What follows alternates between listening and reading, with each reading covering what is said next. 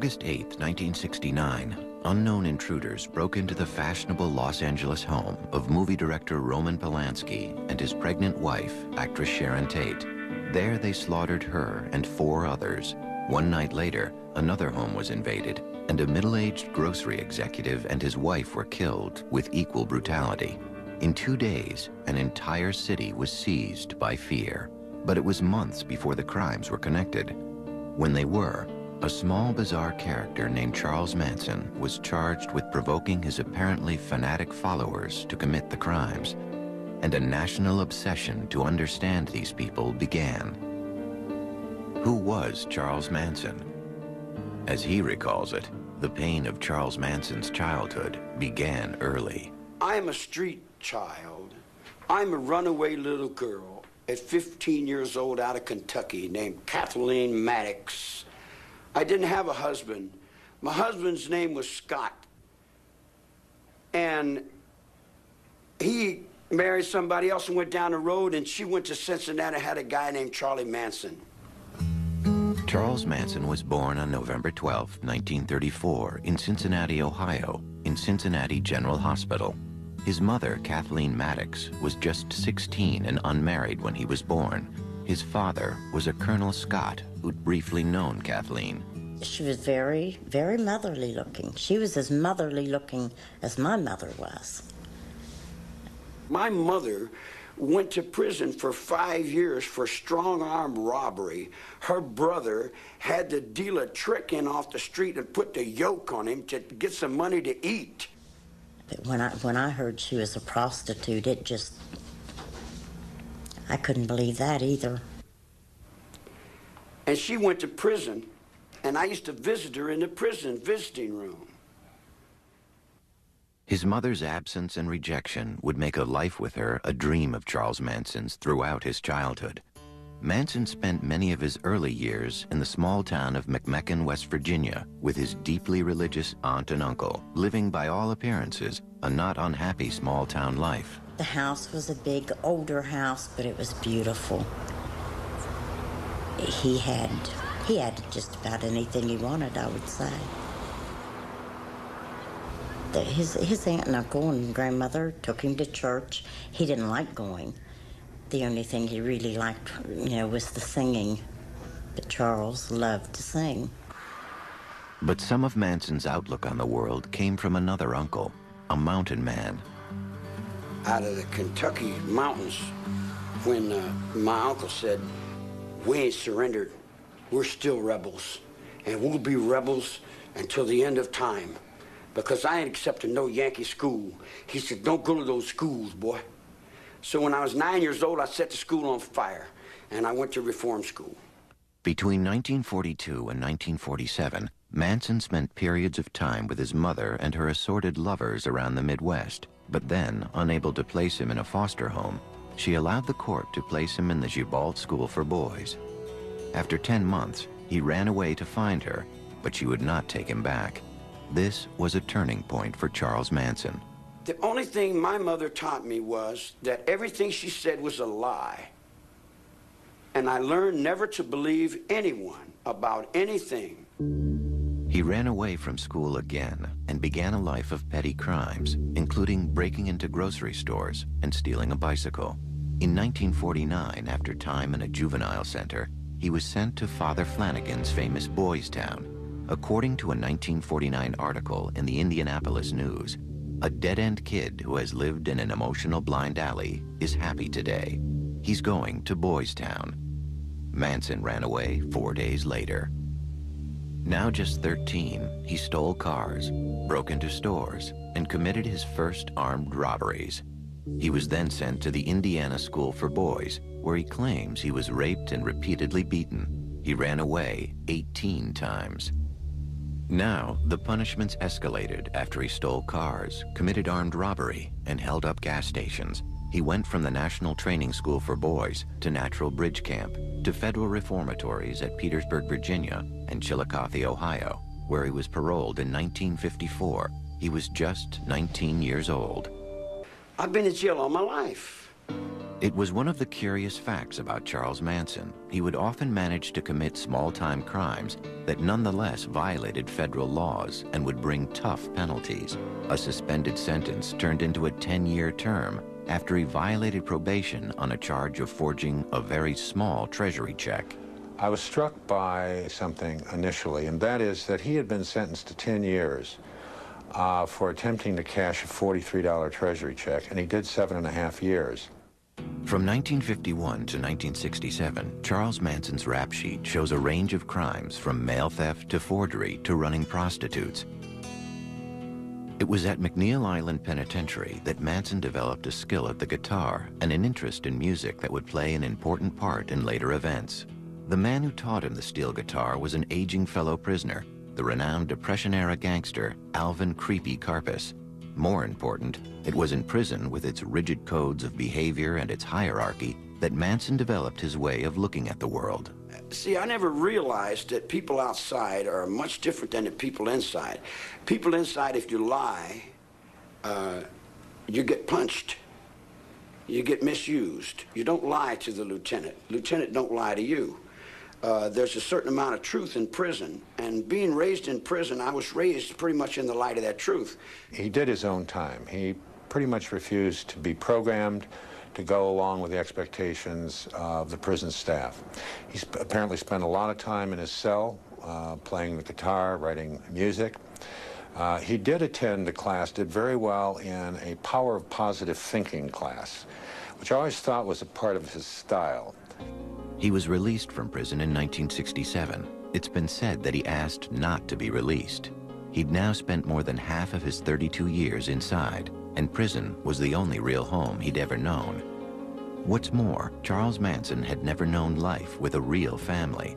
That would make a family of his own very appealing. Prison may have meant a life of little change for Charles Manson, but life outside was changing radically. It was a far different world now from the one he'd known before prison, and was one where his particular skills would serve him well. It was the mid-1960s, and the Haight-Ashbury district of San Francisco was, for hippies and others escaping the mainstream, the promised land.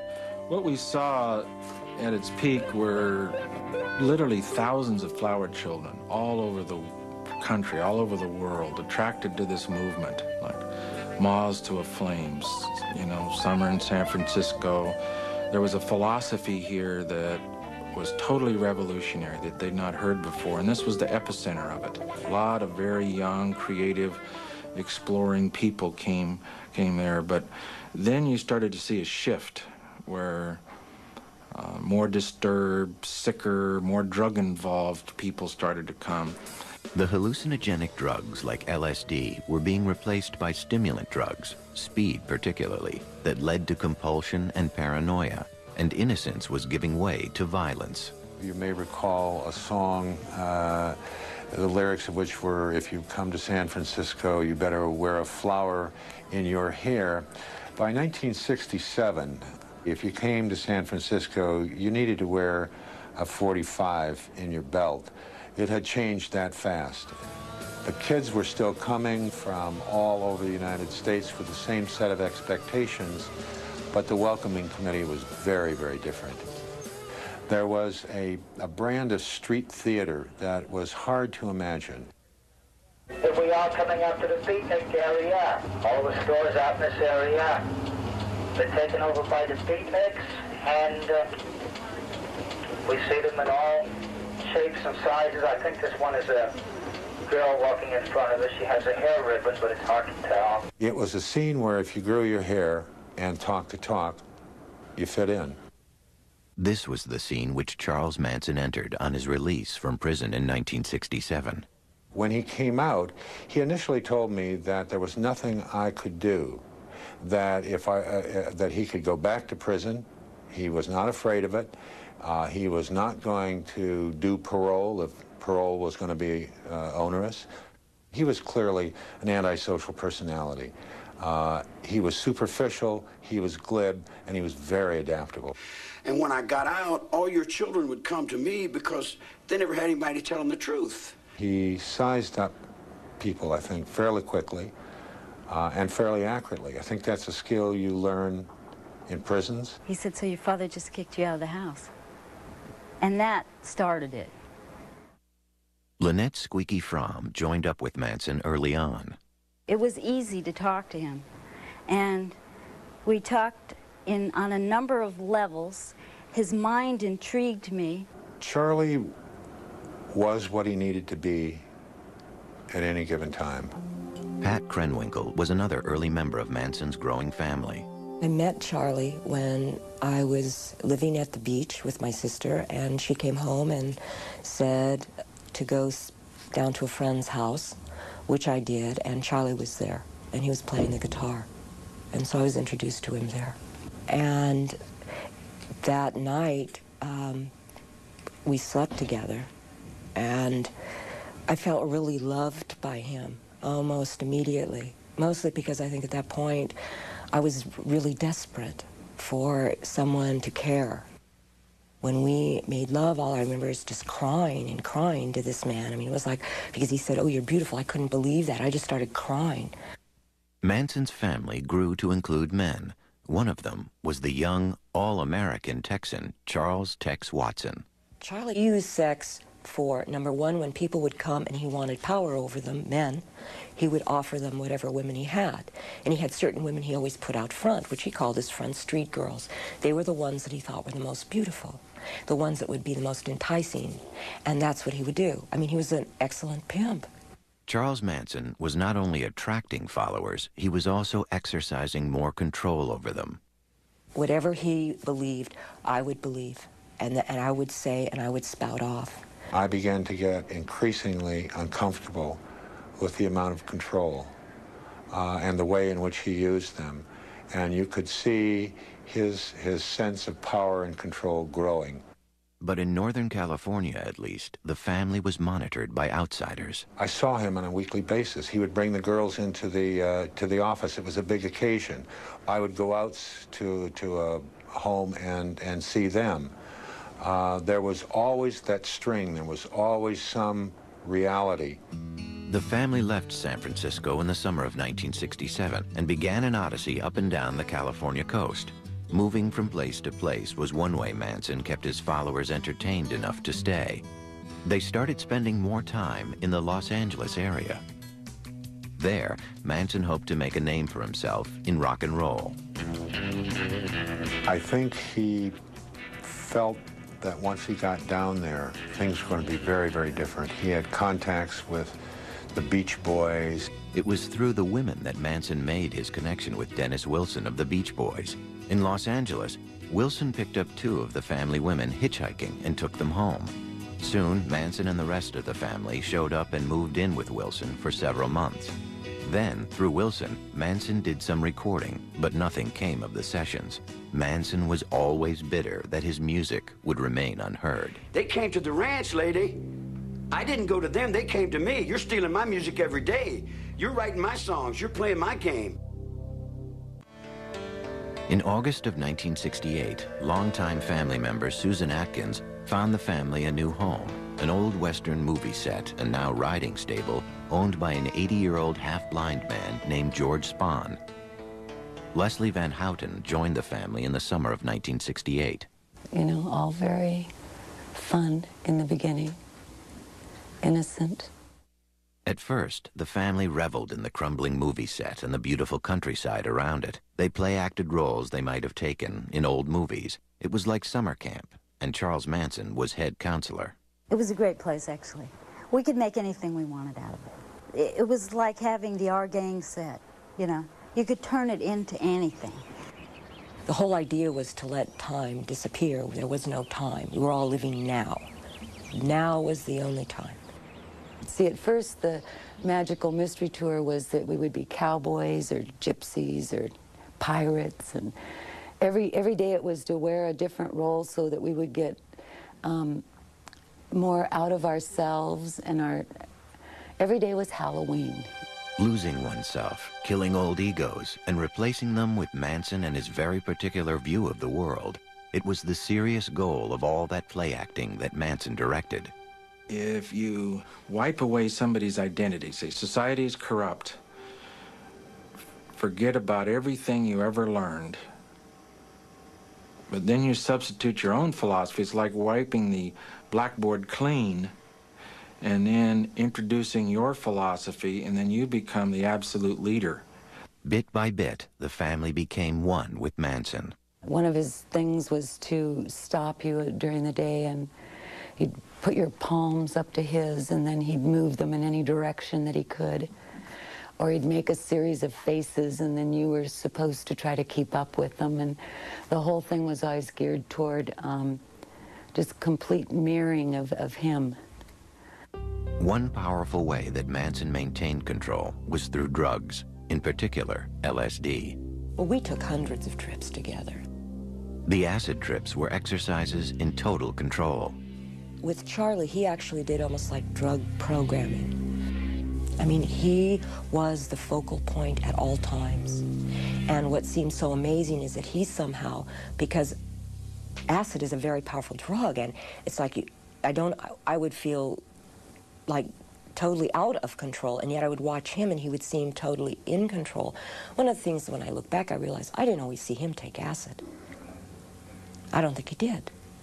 The idea was to get rid of all the conditioning, to die in yourself.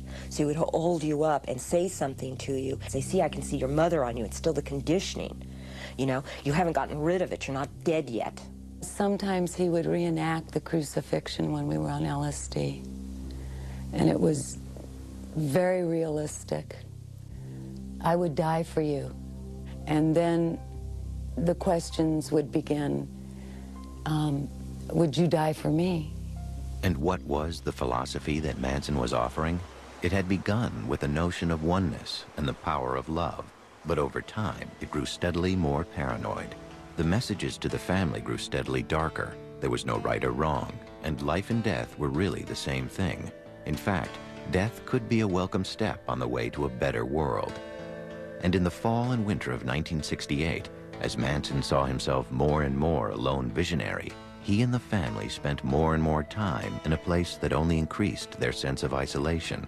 A remote outpost in Death Valley, Barker Ranch. We really weren't in touch. We were allowed to listen to the Beatles and the Moody Blues and Manson's music.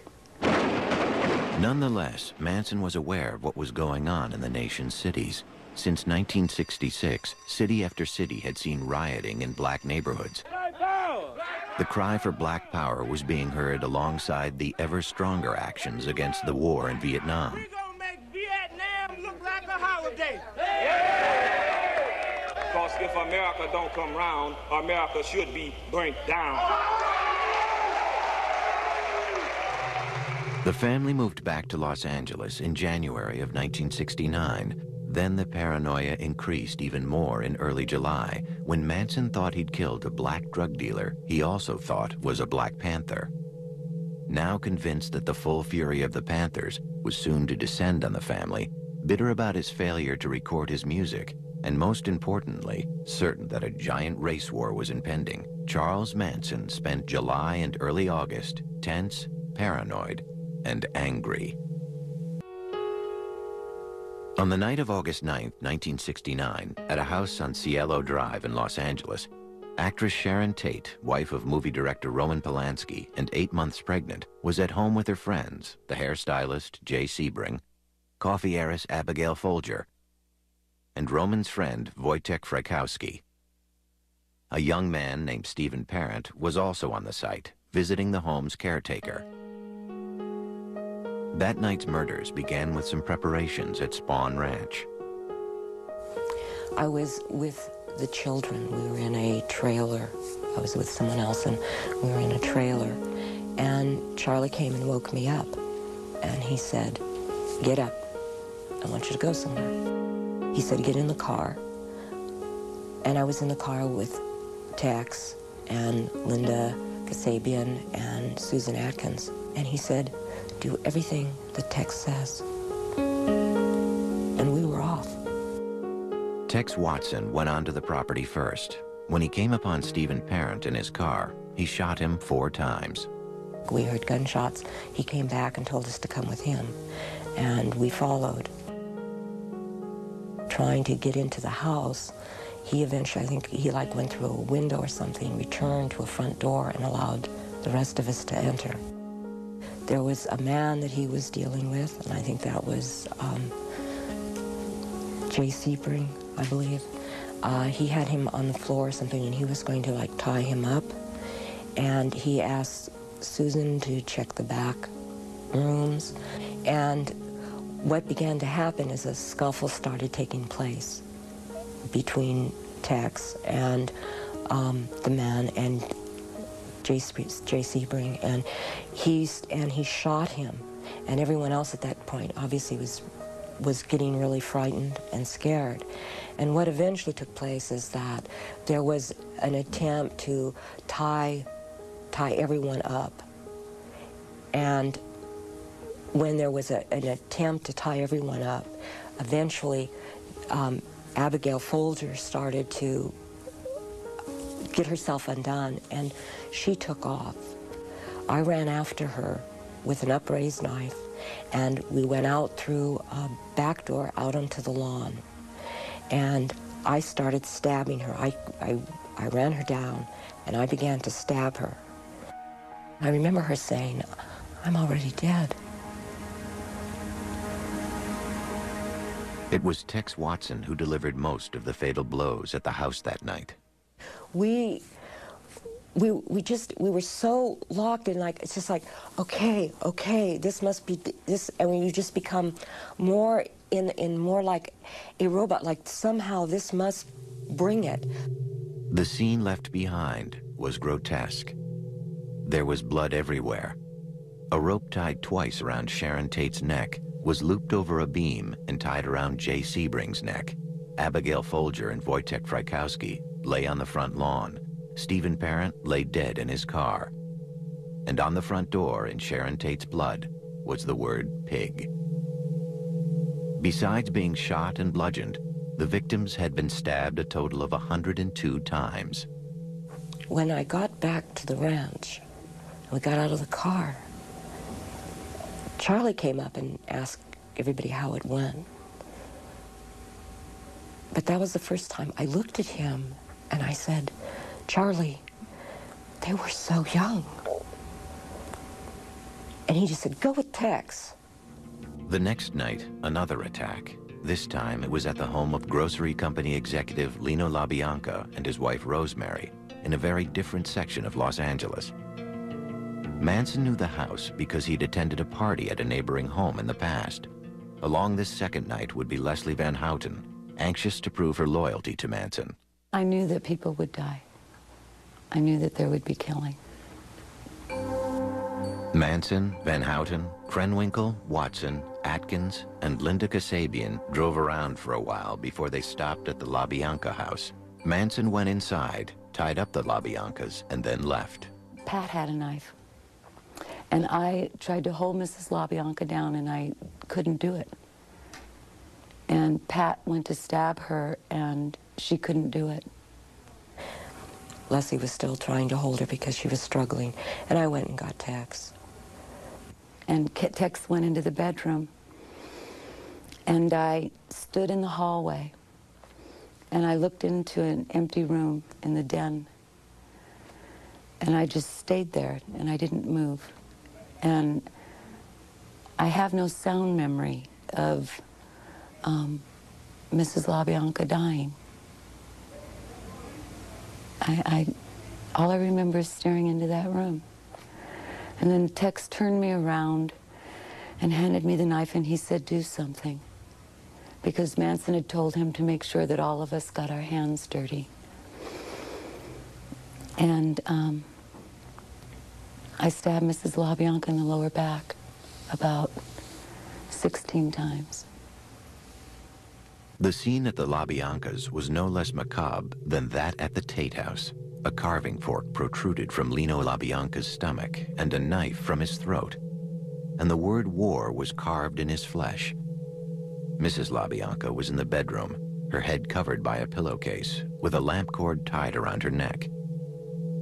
On the walls, written in their blood, were the words, Death to Pigs, and Rise.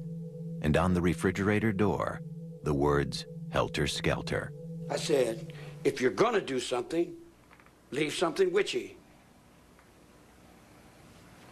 Just like I would tell you, if you're going to do something, do it well and leave something witchy. Leave a sign to let the world know that you were there.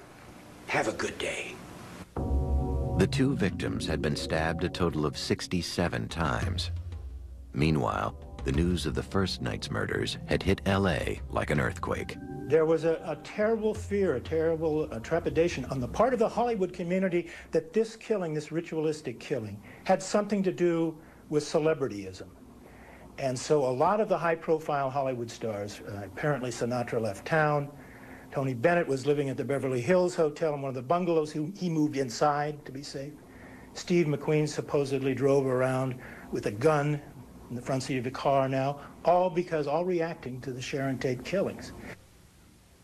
It was amazing. Everyone's got a piece of the story. Everyone, everywhere you went, there was somebody say, did you know that they found that thing? And, that, you know. It seemed everyone wanted a gun. 200 guns were sold by one Beverly Hills store in two days. It took two weeks to get a locksmith. Police were interviewing many celebrities, and some became more careful about their habits. One local in the film business said toilets are flushing all over Beverly Hills. The entire Los Angeles sewer system is stoned.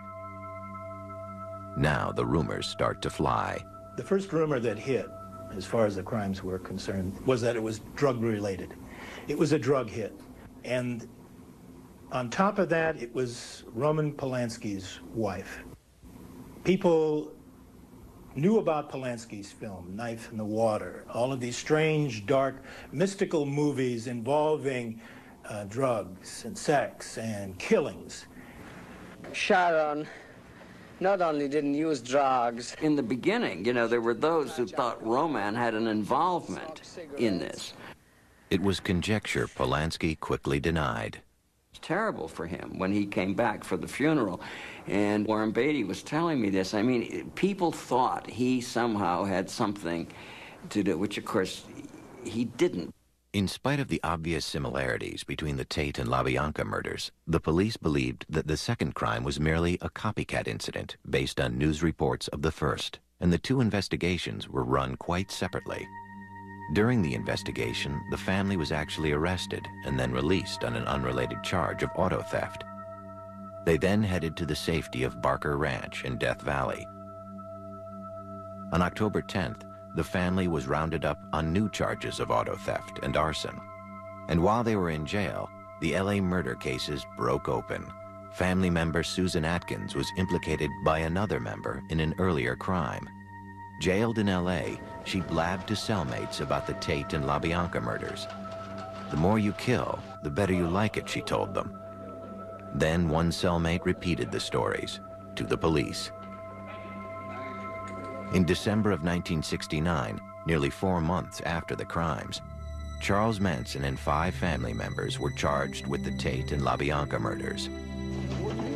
What some called the crime of the century would now move on to a trial that would mesmerize a city. The trial of Charles Manson, Pat Krenwinkel, Leslie Van Houten, and Susan Atkins for the Tate and LaBianca murders began on June 15, 1970. Manson demanded and was refused permission to serve as his own attorney. Still, from the beginning, it was clear that Manson was in complete control of the defense. You have to realize that uh, I viewed Manson as being the main defendant. Uh, to convict his co-defendants and have him walk out of court, I think, would have been an unsuccessful prosecution. Uh, the problem was that Manson was not at the murder scene. He did not physically participate in these murders. So I had to bring him in by way of circumstantial evidence, uh, and also by the law of conspiracy. At the heart of the prosecution effort was the bizarre story of Helter Skelter, the stranger-than-fiction doomsday scenario that Charles Manson had woven from his earlier certainty of a coming race war. Helter Skelter was a name he'd taken from a Beatles song. Manson envisioned that white people would turn against the black man if they thought the black man had committed these seven murders, and ultimately there would be a civil war between blacks and whites out on the street. During the war, he told them, he said, we're going to hide out, we're, we're going to hide out in the bottomless pit in the desert, a place he derived from Revelation 9, a, a chapter in the last book of the New Testament. Manson foresaw that the black man would win this war. But later on, he said the black man, because of inexperience, would simply not be able to handle the reins of power. So we would have to look around at those white people who had survived, who had escaped from Helter Skelter. And he said, we'll come out of the bottomless pit, and quoting Manson, we'll send Blackie on his way to picking cotton, and we'll take over the leadership of the world. The chief prosecution witness was Linda Kasabian, who had driven the car on the night of the Tate murders. She agreed to testify in return for immunity. Can you get out of the way? The mood around the trial and throughout L.A. was as bizarre as the accused themselves. It may be more than six months before the Tate case finally goes to trial here at the Hall of Justice, but Hollywood isn't waiting. Two movies about the mass murders already are in the works. One producer said his film will concentrate on the hippie clan charged with murder and explain on the screen why they might have done it. Day after day, Manson would come into court and by turns intimidate and amuse. He was playing the, the people. He was playing to the courtroom. He was playing to the, to the press. We had quite a few staring sessions. He was always staring at people, you know. He'd stare at, at the jury, and they would turn away. He'd turn around and stare at spectators. During the trial, as in their lives before, the three women took all their instructions from Manson. The entire proceedings were scripted by Charlie. Every day we'd meet, and he'd decide, well, today I want you each to stand up and hold your hands in some stupid symbols. You're going to get up and scream. You know, each day was scripted. And that day we proceeded through the events. With Manson, he believed that everything we did was creating some picture that was going to go out in the universe and somehow change it towards his, bend it towards his will. The daily march of Van Houten, Atkins, and Krenwinkel, smiling and singing, was unnerving to anyone who saw it on the news. The song they were singing was one that Manson had written.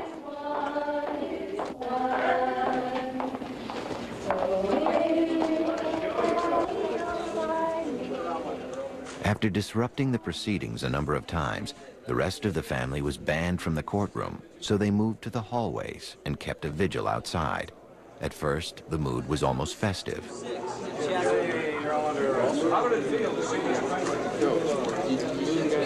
We saw them every day. You know, come on, Squeaky, uh, you can't really be serious about that, you know. And we would banter back and forth, and so there was a joviality. But continuing to shock the courtroom, Manson carved an X into his forehead in late July to symbolize his removal from society. The following weekend, the three girls followed suit. National attention on the trial included unwelcome notice from the highest level. President Nixon spoke of Charles Manson in a speech on August 3rd. Here is a man who was guilty, uh, directly or indirectly, of eight murders without reason. Uh, here is a man yet who, as far as the coverage was concerned, uh, appeared to be rather a glamorous figure. And the next day, a smiling Charles Manson held the headline up to the jury as the defense demanded a mistrial. It was denied in spite of the defense team's best efforts. The President of the United States says somebody's guilty. What recourse do you have? You answer the question. Inside the courtroom, the most dramatic moment occurred on October 5, 1970, when Manson lunged 10 feet towards the judge. He was restrained and the trial continued. Uh, it certainly was within earshot. On November 16th, the prosecution rested, and the defense rested without calling a single witness. Struggles with Manson and changes in the defense team were constant. But there was still alarm when defense lawyer Ronald Hughes did not show up in court. His body was later discovered in a wilderness area. One ex-family member has since claimed he was murdered for disagreeing with Manson over Leslie Van Houten's defense. On January 25, 1971, after nine days of deliberation, the jury found each defendant guilty of conspiracy to commit murder and murder in the first degree. In a separate trial, Tex Watson was also found guilty and sentenced to death. In the penalty phase of the trial, the women did testify and tried to exonerate Manson. And now the instructions from Manson were changing. One of the things that Charlie always promoted about himself was, I don't lie. And all of a sudden, he was asking every one of us to lie on a daily basis about something. Oh, say this, say that. And we're going, but I didn't do that. And it was like, you lie? A God lies? On March 9th, the jury called for the death penalty for all four defendants, a finding the judge then upheld. In protest, the women shaved their heads. Before that clerk reads that verdict, you don't know what he's going to say, life or death. It's a very tense, suspenseful moment. And uh, I looked over at Manson, and his hands were uh, trembling. Now, here's, a, here's someone who always spoke about the beauty of death. He was always telling everyone, death is a beautiful thing, and maybe when we kill these people, we're doing them a favor, and they don't even realize it. But I was with him for nine and a half months, and he fought very hard for his own life, see? So that was just pure hypocrisy on his part. The defendants faced the death penalty now. To at least one of them, it was a kind of relief. I was more than willing to go to the gas chamber. I didn't fear it. The death penalty for me at the time seemed, it almost justified my not having to deal with what I had done. It was the eye for an eye. They're going to kill me. I don't have to deal with it. And then in 1972, the Supreme Court overturned the death penalty. Death sentences were commuted to terms of life imprisonment. In the case of Charles Manson, there was a certain irony involved. In fact, he told me after, after the trial, because Bugliosi says, you know, you haven't achieved anything here. He said, all you've done is send me back to where I came from. But I said, well, yeah, Charlie, that's true, but as far as I know, you've never been in the green room before. The, the green room is, is, is, a reference to San Quentin um, um, gas chamber. The next year, I was driving my car, and the car radio was on. And I heard where the, where the U.S. Supreme Court had set aside the death penalty, Furman versus Georgia. And the very first thought that came to my mind is that what Manson had told me at the end of the trial was true. That all we did is send him back to where he came from, and he doesn't mind prison life. So in a sense, and I hate to say this, in a sense, Manson has beaten the rap. It was 1972, and Pat Krenwinkel and Leslie Van Houten were still young women with a lifetime ahead of them. A lifetime to face what they had done. More than 30 years after the murders at the Tate and LaBianca homes, Charles Manson, Patricia Krenwinkel, Leslie Van Houten, Susan Atkins, and Tex Watson are all still in prison serving life terms. All have been reviewed for parole numerous times, but it's always been denied. You can have the rest of it and put me back in my cell. This is all I really want to do. Charles Manson has not even attended all of his I don't hearings. think there's a decision among you, is there? Now Charles Manson is moving into his 70s, and Tex Watson and the women are in their 50s. To listen to Manson, Pat Krenwinkel, and Leslie Van Houten today is to hear very different memories of those events well over a quarter century ago. If anything, the, ol the older I get, the harder it is. Mrs. LaBianca was younger than I am now. I took away all that life. I see blood in here every day. Every day someone's getting shot, someone's getting cut, someone's getting beat. I've lived in that all my life, woman. That don't wrinkle up my forehead. You can pile a hundred dead bodies up in front of my cell and it don't set me to do nothing. Every day I wake up and know that I'm a destroyer of the most precious thing, which is life. And living with that is the most difficult thing of all. And I do that because that's what I deserve, is to wake up every morning and know that. You know, it didn't happen overnight. He spent a lot of time taking middle class girls and remolding them. I never broke nobody's will. I never told anybody to do anything other than what they wanted to do. Oh, Charlie's just absolutely lying. There wasn't one thing done that was even allowed to be done without his expressed permission. Wait a minute.